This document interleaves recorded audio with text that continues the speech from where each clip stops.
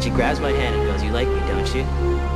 I didn't say anything. No, it's best to keep chicks guessing.